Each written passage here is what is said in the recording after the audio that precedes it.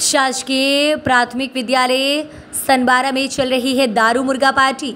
कोलारस में अनुविभाग के शासकीय प्राथमिक विद्यालय सनबारा में शिक्षकों द्वारा स्कूल टाइम में बच्चों के सामने शराब व मुर्गा पार्टी मनाए जाने का मामला प्रकाश में आया है।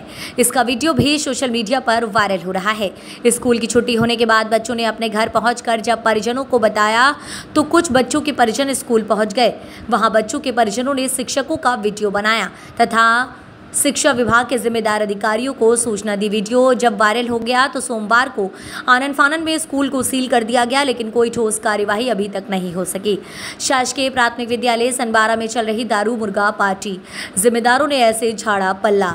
जब इस संबंध में कोलारस एच एस शर्मा ने पूछा तो वे बोले कि हाँ ऐसा वीडियो आया तो था।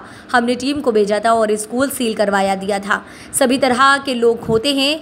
इस मामले की जाँच करवाएँगे। वहीं डीईओ समर सिंह राठौर ने कहा कि मैं तो दो दिन से बाहर हूँ।